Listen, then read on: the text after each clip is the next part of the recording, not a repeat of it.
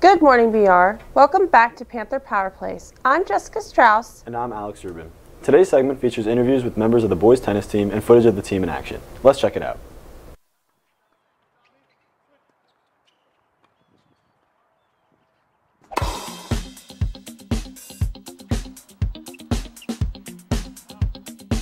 So one of our team highlights is that we beat our rivals Watchung.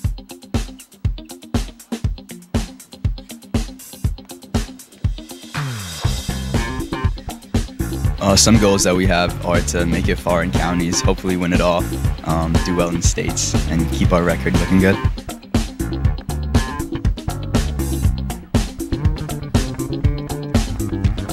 Little known fact about the team is that this year we have two new coaches, Coach Rosenberg and Coach Bray, uh, and we've liked playing with them this year so far.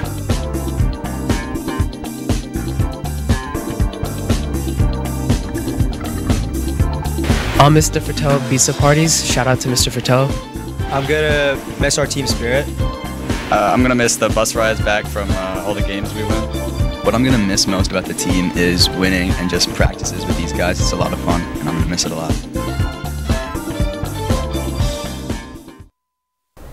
Thank you to the members of the team for taking the time to film with us. The team's biggest win so far this season was over Watchung Hills. The score was three sets to two.